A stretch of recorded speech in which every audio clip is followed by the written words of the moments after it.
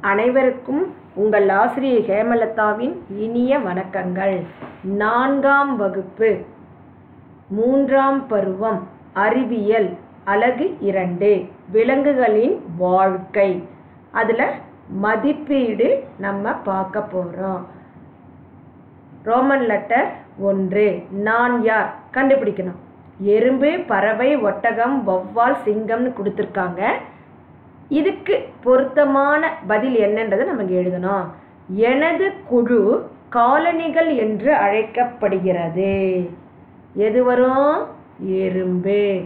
இதுக்கு ஒன்றுன்னு போட்டு இந்த இடத்துல எறும்புன்னு எழுதணும். எங்களின் வீடு கூடாகும். எது கூடுல வாழும்? என்ன சொல்லுங்க? பறவை. இதுக்கு வட்டம் போட்டுட்டு இங்கே பறவை. கூடு கட்டக்கூடியது எது? பறவை. மணலில் நடப்பதற்காக என் கால் பாதங்கள் அகலமாக உள்ளன. ஒட்டகம். அப்போ என்ன எழுதணும் இங்கே? ஒட்டகம் அழகாக எழுதணும்.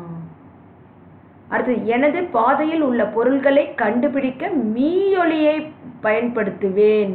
நம்ம இரவில் இறை தேடும் பறவைகள் சொல்லி பார்த்தோமா இல்லையா? எது? வௌவால். அப்ப இதுக்கு நான்குன்னு போட்டு இந்த இடத்துல என்ன பண்ணணும் வௌவால் எழுதணும். நான் பகலிலும் இரவிலும் சுறுசுறுப்பாக இருப்பேன். இது சிங்கம்.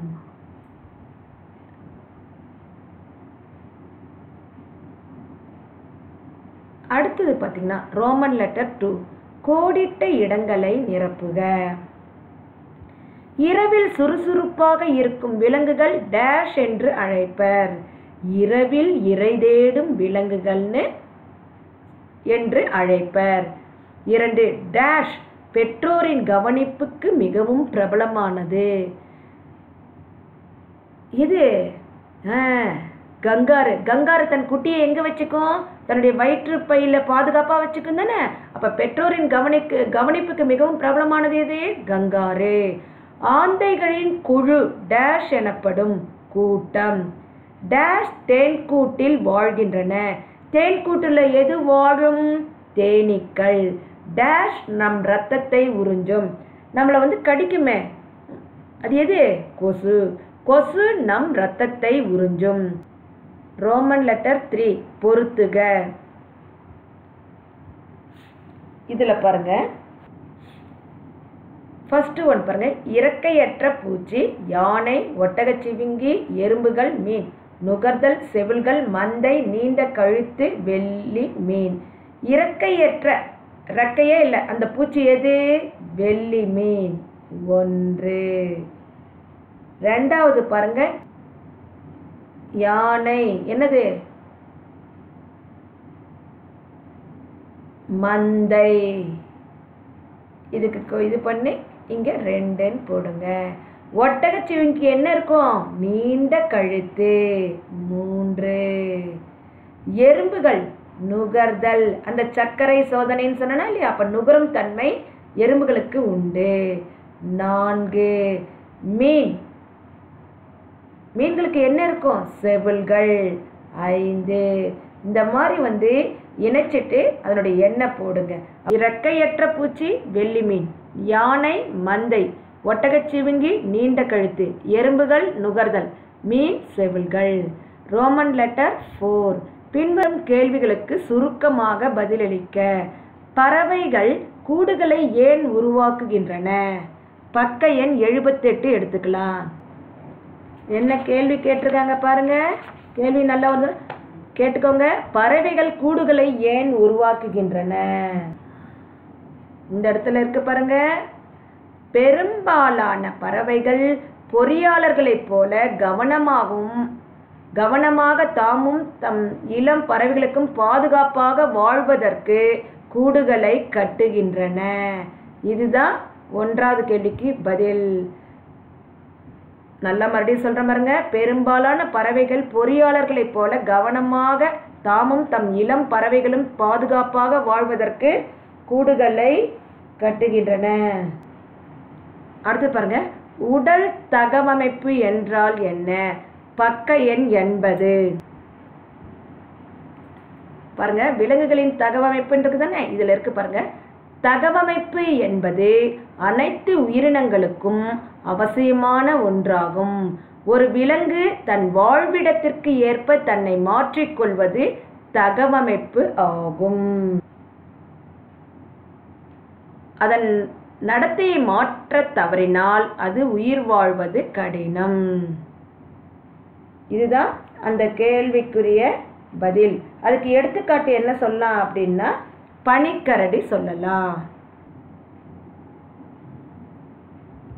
எதிரொலித்து இடமாக்கல். வரையறை. பக்க எண் எண்பத்தி நான்கு இரவில் பாருங்க இங்குதான் கொஸ்டின்ஸ் இரவில் தங்கள் வழியை கண்டுபிடிப்பதற்கும் அவற்றின் பாதையில் உள்ள பொருள்களை தெரிந்து கொள்வதற்கும் இந்த ஒளியை பயன்படுத்துகிறது. இதனையே நாம் எதிரொலித்து இடமாக்கல் என்கிறோம்.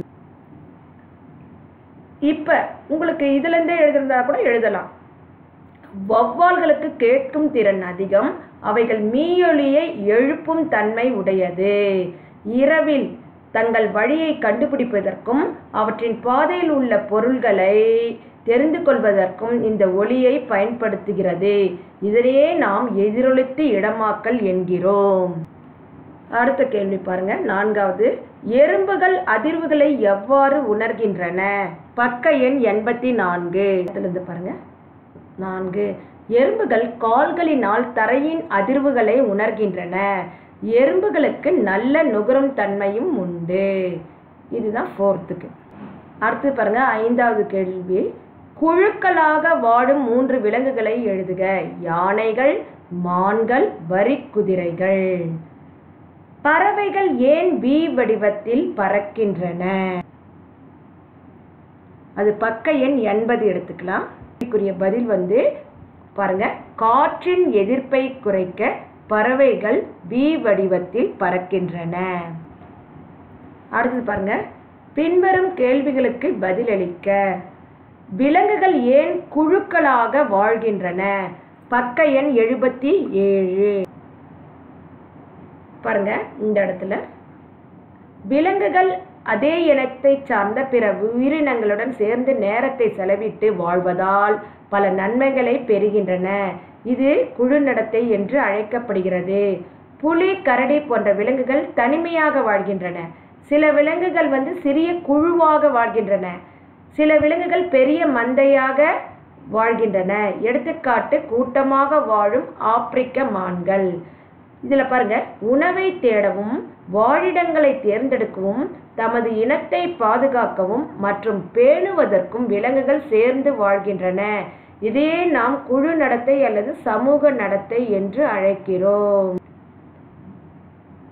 அதுக்குரிய பதில் இதுதான். பாருங்க. பூச்சிகளின் மூன்று முக்கிய உடல் பகுதிகளை விளக்குக. பக்க எண் எண்பத்தி மூன்று. பாருங்க. பூச்சிகளின் உடல் தலைப்பகுதி மார்பு பகுதி மற்றும் வயிற்று பகுதி என மூன்று பகுதிகளை கொண்டுள்ளது. ஃபஸ்ட்டு பார்க்க போகிறது தலை. இதுலேருந்து எழுதலாம். தலையில் காணக்கூடிய முக்கிய பாகங்கள் பெரிய கூட்டுக்கண்கள் உணர்வு நீட்சிகள் மற்றும் வாயுறுப்புகள் ஆகும். இது ஒன்றாவது பாயிண்ட்டு ரெண்டாவது பாயிண்ட் பாருங்க. மார்பு பகுதி இது உடலின் நடுப்பகுதியை குறிப்பதாகும். இது மூன்று இணைக்கால்களையும் இரண்டு இணை இறக்கைகளையும் பெற்றுள்ளது. அடுத்தது வயிற்றுப்பகுதி இது பூச்சிகளின் கடைசி உடற்பகுதியாகும். பெரும்பாலான பூச்சிகளின் வயிற்றுப் பகுதிகள் கண்டங்களாக பிரிக்கப்பட்டுள்ளன. இதுவரையிலும் அதுக்குரிய பதில். இரவில் இறை தேடும் விலங்குகள் பற்றி எழுதுக. பக்க எண் எண்பத்தி ஐந்து. பாருங்க இங்கிருந்து. சில விலங்குகள் பகல் நேரத்தில் தூங்கி இரவில் மிகவும் சுறுசுறுப்பாக இருக்கின்றன. எடுத்துக்காட்டு பூனை. சிறிய விலங்குகள் மட்டுமின்றி சில பறவைகளும் இரவில் சுறுசுறுப்பாக செயல்படுகின்றன. இத்தகைய விலங்குகளை இரவில் இறை தேடும் விலங்குகள் என்று அழைக்கிறார்கள். எடுத்துக்காட்டு ஆந்தை வவ்வால் இதுதான் அதற்குரிய பதில். என்னன்னா இரவில் இறை தேடும் விலங்குகள் பற்றி எழுதுகன்னு கேட்டிருக்காங்க. இதிலே பாருங்க இரவு இறை தேடும் விலங்குகள் பொதுவாக மிகவும் சிறந்த செவிப்புலன் நுகர்தல் மற்றும் மாற்றியமைக்கப்பட்ட கண் பார்வை ஆகியவற்றை பெற்றுள்ளன. இது ஒரு பாயிண்ட்டாக எடுத்துக்கோங்க. இது ஒரு பாயிண்ட்டாக எடுத்துக்கோங்க. இந்த ரெண்டு பாயிண்ட்டாக வச்சு இது எழுதலாம். இப்போ இரவில் இறை தேடும் விலங்குகள்னா என்னன்றதை எழுதணும். அதனுடைய சிறப்பு அம்சம் என்னன்றது சிறன்றதை இங்கே கொடுத்துருக்காங்க. அதையும் நீங்கள் எழுதலுங்க. விலங்குகளின் வாழ்க்கை. இந்த அழகனுடைய மதிப்பீடு முடிஞ்சது. இதோட இந்த வகுப்பு முடிஞ்சது. அடுத்த வகுப்பில் நம்ம பார்க்கலாம். நன்றி.